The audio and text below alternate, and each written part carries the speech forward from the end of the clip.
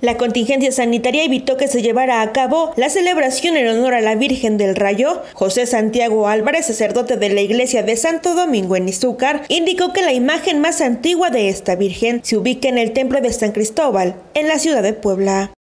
18 de agosto se celebra la advocación de la Santísima Virgen del Rayo.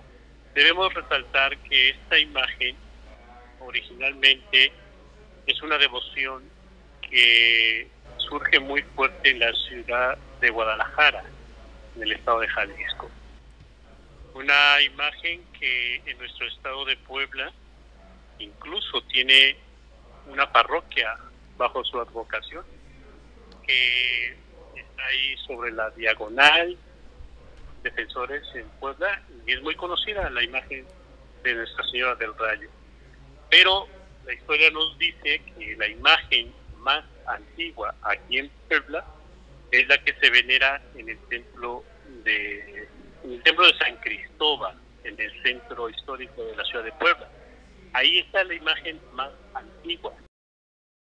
En Izúcar, la Virgen del Rayo se encuentra en el Templo de Santo Domingo y cada año se realiza una procesión y una verbena. Sin embargo, este año quedó suspendida.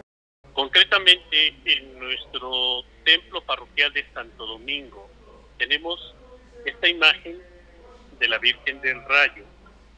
Y tiene sus devotos porque cada año pues se celebra una misa, se hace una verbena e incluso se saca en procesión por las calles de, de nuestra comunidad y son unos devotos de una forma particular porque, bueno, haciendo alusión a estos hermanos, los encargados para hacer esta fiesta son los dueños de estas panaderías de El Rayito.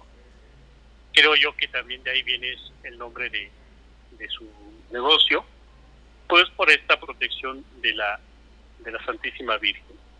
Aquí en nuestro templo, a raíz del incendio de 1939, no se tiene registro de que existiera antes alguna imagen con esta devoción. Sin embargo, con la restauración del templo se introduce esta imagen. No tenemos tampoco un dato preciso de, quién, de cómo, pero sí esta imagen se encuentra ubicada en el retablo del corazón de Jesús, dentro del templo de Santo Domingo. Lógico que ahora con lo de el templo que ha sufrido daños, esta imagen la tenemos resguardada junto con todas las demás para evitar algún daño mayor.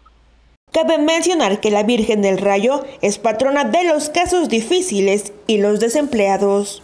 Sí, precisamente porque pues si nos vamos a la historia, date cuenta cómo siempre surgen estas necesidades y se van adjudicando a la devoción de alguna imagen. En ese tiempo la situación económica pues es muy agraviante, no tan diferente como la que vivimos hoy. Entonces se busca esta protección y se le encomiendan a ella a todos los desamparados en este sentido de la de la situación del trabajo, ¿no?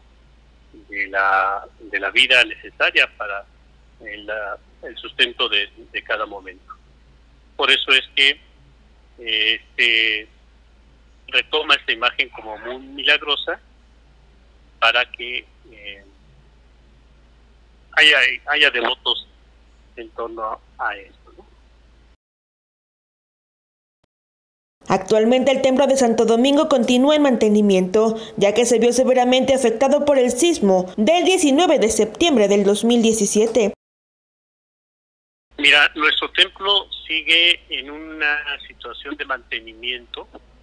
El templo o la capilla abierta que tenemos en el atrio se está trabajando en el mantenimiento de las bancas.